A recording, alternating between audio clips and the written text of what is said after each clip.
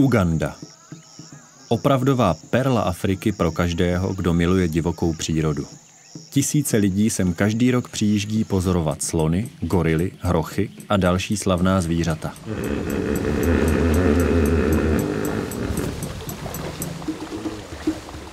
Dobrodružná safari ale nejsou to jediné, co může Uganda nabídnout.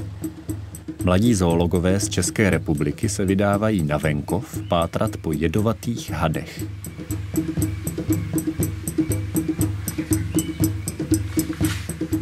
Podaří se jim v pralese najít vzácné zmije, kobry a mamby?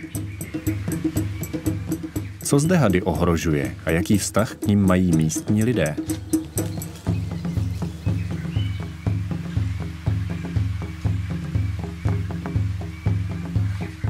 Nový dokument filmového studia Living Zoology přináší unikátní záběry fascinujících plazů a zároveň vám poodhalí zákulisí odchytu hadů na export.